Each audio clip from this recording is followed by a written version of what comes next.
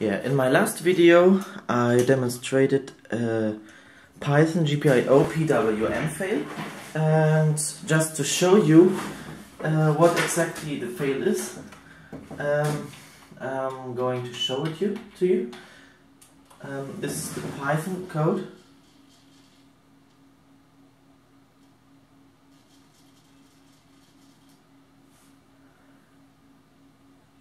that shall drive my tea brewing machine. You see, as soon as there is CPU load, uh, it's really unstable.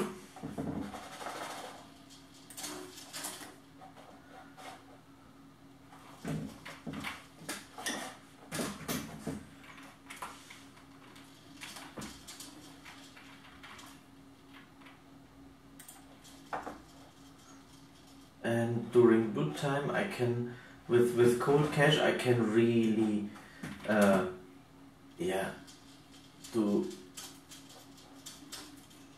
things like this. And yeah. Now I will show you a little trick how to do it a lot more stable. I'm using this taskset command. And you see the movement is stable, much more stable. And why is it the case? I can show you in HTOP. We have this CPU 4 always running with a load of 0%. And why is it the case? Well, I have um, set an option in boot command line um, this isolcpus equals 3 and now I can tell Python to use this third core which is isolated so no other system tasks are running on it. Um, and I can use this one core of the quad core Raspberry Pi 3 completely for servo control. Now let's take a look at the Python code. Um, I'm setting up this uh, GPIO PWM uh, port. And I have a function position which changes the duty cycle to the correct uh, duty cycle for the servo position. And now I'm having this code for my tea brewing machine. Uh, maybe I'll put the link in the video description which drives the arm up, then waits some 3 seconds. Um, for tea you need 60 seconds, but uh, for demonstration purposes I used 3 seconds. And then positioning, uh, I'm posi uh, putting the arm up again.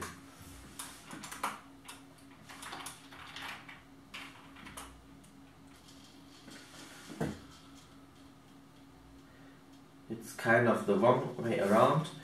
Uh, if you really want to see how the tea brewing machine is working, uh, I should use the old PHP code. Um, now, what is my suggestion to the uh, GPIO API implementers?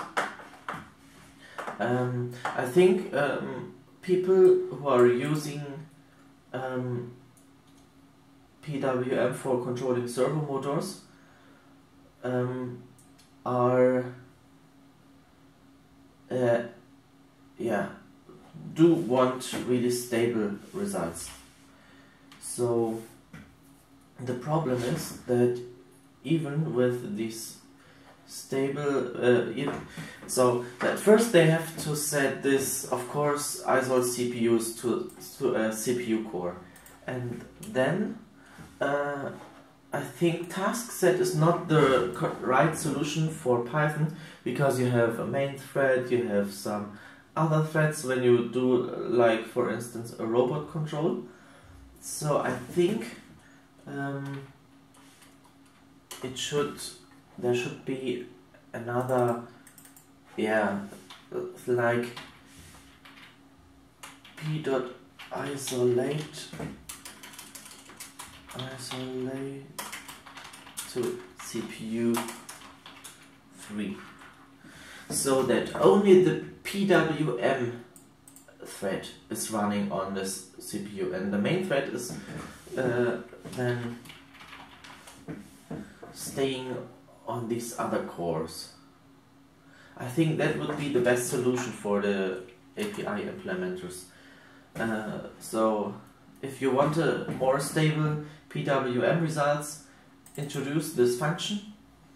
And if you want to have stable results, add, add the isolcpus into your boot command line. And after this, tell Python to which CPU the PWM controlling thread should be bound. That's it for today, thanks and bye bye.